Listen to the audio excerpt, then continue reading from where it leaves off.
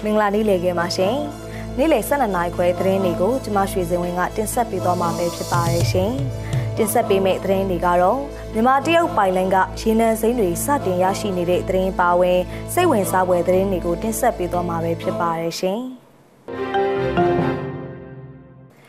ရုတ်အစိုးရပိုင်းတရုတ်အမျိုးသားရေနံကော်ပိုရေးရှင်း CNPC ကမြန်မာတရုတ်ပိုင်လိုင်းကနေတဆင့်ရေနံစိမ်းစတင်လက်ခံရရှိပြီးဖြစ်တယ်လို့ကုမ္ပဏီရဲ့ပြောကြားချက်ကိုကိုးကားပြီးစင်ဝါသတင်းဌာနကရေးသားထားပါတယ်။ဒီပိုင်လိုင်းဟာရခိုင်ပြည်နယ်ကြောက်ဖြူမြို့နယ်ကနေစတင်တာဖြစ်ပြီးတရုတ်နိုင်ငံနေဆက်မြို့ယူလီမြို့ကိုဝင်ရောက်တာဖြစ်ပါတယ်။ဒီလုပ်ငန်းကို CNPC ကုမ္ပဏီနဲ့မြန်မာရေနံနဲ့သဘာဝဓာတ်ငွေလုပ်ငန်းတို့ကအကျိုးတူပူးပေါင်းဆောင်ရွက်တာဖြစ်ပါတယ်။ဒီရေနံစိမ်းတွေကိုတရုတ်နိုင်ငံယူနန်ပြည်နယ်ထဲမှာပြည်လဲတန့်စင်မှုတွေပြုလုပ်မှာဖြစ်ပြီးတစ်နှစ်ကို73တန်းထုတ်လုပ်နိုင်မှာဖြစ်တယ်လို့သတင်းကရေးသားထားပါတယ်ရှင်။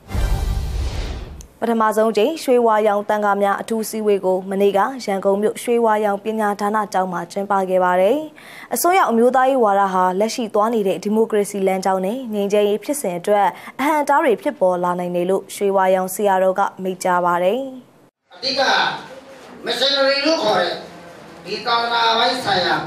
ကိစ္စရပ်တွေနဲ့ပတ်သက်လို့အတုံးချခံရတယ်ဘယ်တိုင်းစီမှာမဟုတ်ငင်းတိုင်းရမရနိုင်ဘူးဒါတော့သိထားဖို့လို့တကယ်လည်းမရခဲ့ဘူးအဲ့တော့တန်ဃာတွေချုံးပေါ်မှာအမောင်ဝရောကနေဒါမှမဟုတ်အစွမ်းရောက်သွားတယ်သူတို့တွေကနေဖျားပွေးဆောင်ပြီးတော့တန်ဃာငယ်တွေအရွယ်မျိုးမျိုးရှိတဲ့ထဲကနေပြီးတော့ဖျားပွေးဆောင်ရတဲ့ပုံကိုယ်တွေစွတ်ပြီးတော့ အတောင်ချမယ်ဆိုရင်လည်းဒါဒီကကဖြစ်စေနိုင်အဲ့ဒီလိုပဲလူပုဂ္ဂိုလ်တွေထဲမှာဆိုရင်လည်းတဏှာအင်အားတွေဒါမှမဟုတ်ဩဇာတွေဒါမှမဟုတ်ပါဝါတွေနဲ့ကိုင်ကနာတွေဖွဲ့ပြီးတော့ရှင်းသွားရမယ်လမ်းကြောင်းတွေကိုလက်ရှိဒီလိုမျိုးထောက်ခံထားတဲ့အစိုးရပေါ်မှာအနောက်ချက်အားသားတွေဖြစ်စေနိုင်တဲ့ကြီးထွားလာတဲ့အင်အားစုတွေနဲ့ကိုင်ကနာတွေဖွဲ့ပြီးတော့နောက်ချက်ဖြစ်စေနိုင်တဲ့ ပฏิမကအတွေ့အကြုံဖန်ပြီးဒါနိုင်တယ်ဆိုတော့အခုမြင်နေတွေ့နေရတဲ့အချိန်ကာလကိုရလာဒီစည်းဝေးကိုနိုင်ငံရေးအင်အားစုတွေပါပါဝင်ဆွေးနွေးခဲ့ကြပြီးဒုတိယကြိမ်စည်းဝေးကိုမန္တလေးတိုင်းဒေသကြီးမှာထပ်မံဆွေးနွေးသွားမှာဖြစ်ပါတယ်ရှင်။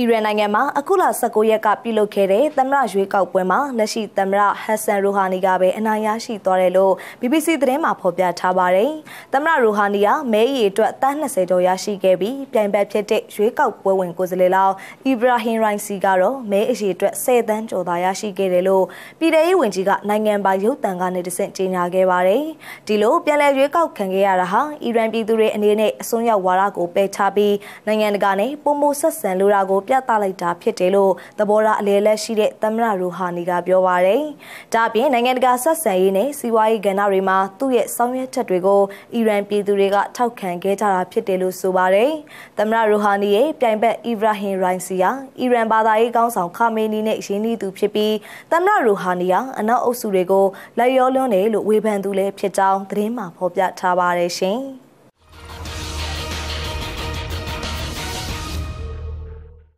ပိန်လက်ရွေးစင်ကစားသမားဟောင်းဇာဗီပါဝင်ကစားနေတဲ့ကာတာကလပ်အဲဆက်အသင်းဟာမနေ့ကကစားခဲ့တဲ့အီမာဖလာဘူလူပွဲမှာတိုင်ဘက်အဲရီယန်ကို2ဂိုးတကိုးနဲ့အနိုင်ရပြီးပိုဆွဲသွားခဲ့ပါတယ်။ဒီဆူပလာဟာဇာဗီဘာစီလိုနာအသင်းကပြောင်းရွှေ့ရောက်ရှိလာခဲ့ပြီးတဲ့နောက်ပိုင်းမှာပထမဆုံးချန်ပီယံဖြစ်အောင်ပွဲခံနိုင်ခဲ့တာဖြစ်ပါတယ်။ဒီဘိုလူပွဲစဉ်ကို2022ကမ္ဘာဖလားအတွက်ရည်ရွယ်ဆောက်လုပ်ထားတဲ့ခါလီဖာအားကစားကွင်းထဲမှာကျင်းပခဲ့တာဖြစ်ပြီးပြင်ပလေထုအပူချိန်ဟာ35ဒီဂရီစင်တီဂရိတ်ရှိခဲ့တာကြောင့်ကွင်းပတ်လည်မှာရှိတဲ့အဲကွန်းတွေကိုအသုံးပြုပြီးကစားသွားခဲ့တယ်လို့သိရပါတယ်။ဒီပွဲစဉ်ကိုပရိသတ်4000ကျော်လာရောက်ခဲ့တဲ့အပြင် FIFA ဥက္ကဋ္ဌ Infantino လည်းလာရောက်ကြည့်ရှုခဲ့တယ်လို့ The Sun သတင်းမှာရေးသားဖော်ပြသွားခဲ့ပါတယ်ရှင်။